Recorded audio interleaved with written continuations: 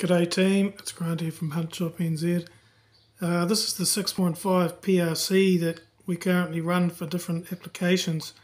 Uh, we have three different loads for it because obviously factory ammunition in New Zealand is very hard to get and it groups all three ridiculously well.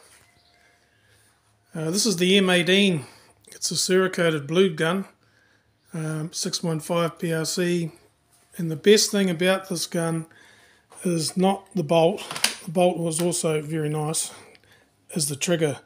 The trigger just has virtually no creep, no over travel. It's absolutely beautiful. This thing seems to work with any ammunition we throw at it. Uh, we've tried quite small projectiles all the way up to 160 Woodleighs and it just seems to shoot them all. Uh, at the moment the the main ones that it seems to like, especially at longer ranges,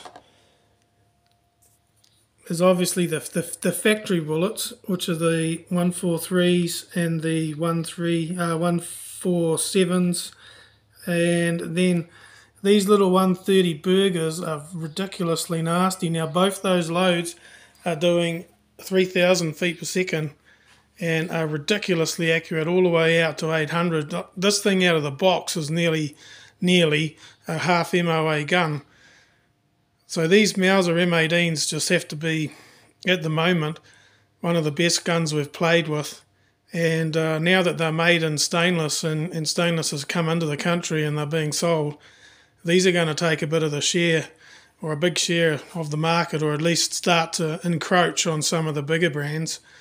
These things are really cheap to buy for what you get and they're made in Germany.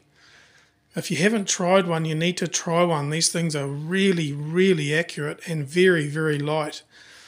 Uh, we just chucked a, a, sonic suppressor on the front and uh, a Burris, quite a big scope, 525 50 on this. It was it was more to get a decent feel for it as an all rounder and it's a beautiful slip gun, beautiful farm gun, but you would need to probably shorten the barrel a bit uh, to get it to be an all rounder for bushwork. But wow, very accurate rifle. If you haven't tried one of these Mauser M18s, you need to. Cheers.